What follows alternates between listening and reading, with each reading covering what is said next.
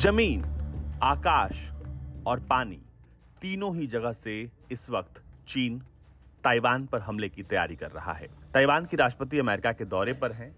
उधर चीन अब लगातार युद्धाभ्यास करके सीधे तौर पर ताइवान को डराने की कोशिश कर रहा है। लेकिन एक्सपर्ट्स मानते हैं कि ये डराने की कोशिश नहीं, बल्कि ताइवान पर चीन की कब्जे की तैयारी है। दरअसल, यूनाइटेड शार्प स्वोर्ड नामक तीन दिवसीय सैन्य अभ्यास की चीन ने घोषणा की है। और चीन की यह कार्रवाई ताइवान की राष्ट्रपति साई इंगवेन और US House Speaker Kevin McCarthy की कैलिफ़ोर्निया में हुई मुलाकात के बाद आई है।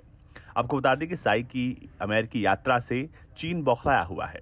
यूनाइटेड शार्प स्वॉर्ड में ताइवान स्ट्रेट में ताइवान के उत्तर और दक्षिण में समुद्र में और ताइवान के पूर्वी हवाई क्षेत्र में पुलिस गश्ती अभ्यास हो रहा है।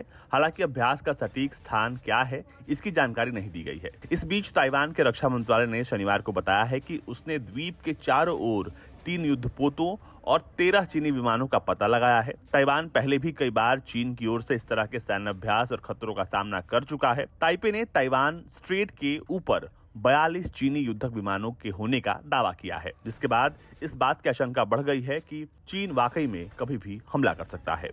ताइवान के रक्षा मंत्रालय के मुताबिक सुबह छह बजे तीन जहाजों और तेरह विमानों को ताइवान के आसपास देखा गया है और देखे गए चार विमानों ने ताइवान स्ट्रेट की मध्य रेखा को पार किया और ताइवान के दक्षिण पूर्व एडीआईजी में प्रवेश किया। आपको बता दें कि ज़मीन पर भी चीन इस वक्त एक्शन दिखा रहा है। पीएलए आर्मी जो है वो लगातार अपने मिसाइल लॉन्चर्स से अभ्यास कर रही है, अपने सैनिकों के साथ वो घेराबंदी की पूरी तैयारी कर रही है।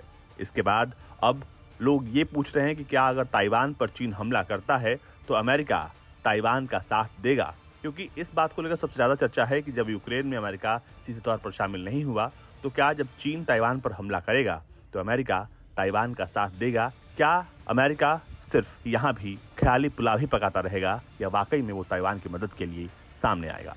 Bureau report, Bharat.